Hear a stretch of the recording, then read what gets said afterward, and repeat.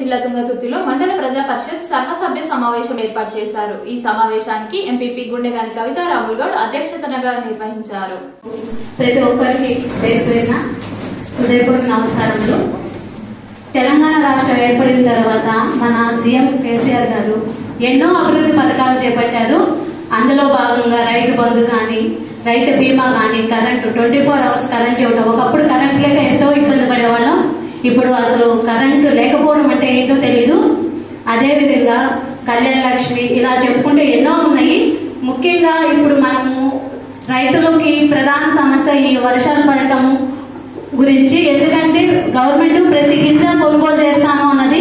అదే విధంగా కొనుగోలు చేస్తున్న కూడా రైతులు ఈ వర్షాలు కానీ దేనికి అదా అదే జిల్లా జెడ్పీ చైర్మన్ గుజ్జ దీపిక యుగేందర్ రావు గారికి వేదికను అలంకరించిన ఎంపీఎస్సీఏ చైర్మన్ గారికి మార్కెట్ చైర్మన్ గారికి ఎంపీడీఓ గారికి ఈ కార్యక్రమానికి విచ్చేసిన ప్రతి గ్రామం నుండి సర్పంచులకు ఎంపీటీసీలకు ప్రతి డిపార్ట్మెంట్ నుంచి వచ్చిన అధికారులకు పత్రికా సోదరులకు నా